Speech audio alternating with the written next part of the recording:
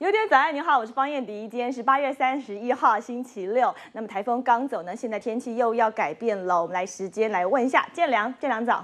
你早安，大家早安。好，我们知道这个入秋第一道封面就要报道，温度上会不会有所改变呢？我们把时间交给你。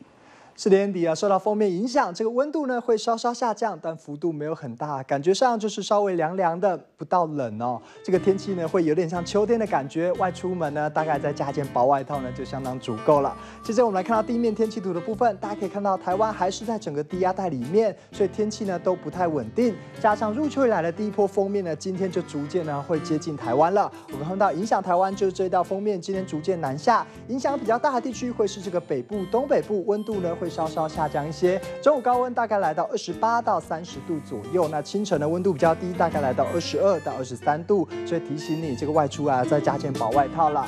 那另外受到封面影响，整个西半部、东北部呢雨势呢也会比较明显一些。那气象局也发布了这个大雨跟豪雨特报哦。那台湾在整个低压带里面，西南风持续的吹，所以中南部地区雨势呢会比北部来的大。气象局也特别呼吁大家会有豪雨的出现，所以中南部地区的朋友要特别注意了。那接下来我们来看到累计雨量图的部分哦。今天一早呢，中南部就开始下雨了，那累计雨量也不少。我们看到中南部地区呢，雨势是比其他地区来的更明显。那下雨最多的地方是屏东县的春日乡，来到一百四十四毫米；来义乡来到一百零二毫米；坎顶乡跟南州乡呢，也都来到八十毫米以上。这个一早呢，雨势就已经累积了不少。但受到封面影响，整个西半部、北部地区呢，今天也会容易会有这个短暂性的阵雨或雷雨，也要特别注意一下了。那受到封面影响，温度稍稍下降一些。我们来看到这个温度曲线图的部分了。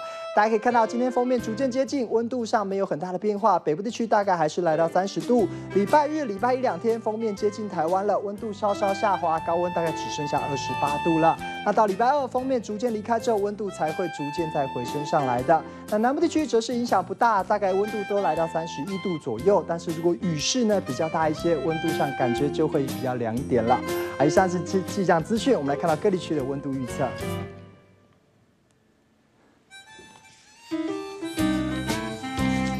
基隆、台北、新北市地区二十五到三十度，降雨几率百分之七十到八十；桃园新竹苗栗地区二十四到三十度，降雨几率百分之七十到八十；台中彰化南投地区二十三到二十八度，降雨几率百分之七十到八十；云林嘉义台南地区二十三到二十八度，降雨几率百分之八十；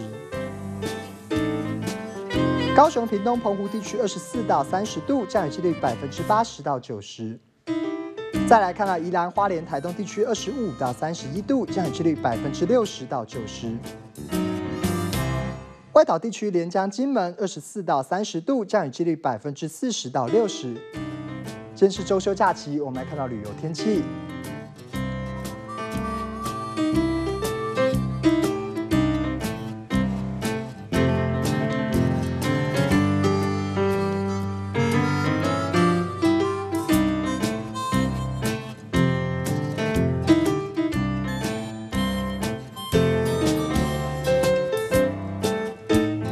好，接着我们看农民历的部分。今天是农历的七月二十五号，属猪的朋友，三十一岁还有九十一岁的朋友要特别的注意了。那今天很适合像结婚、祭祀都相当的合适。但今天整个西半部、东北部地区天气都不太好，可能出游呢就尽量避免了。以上是今天的气象资讯。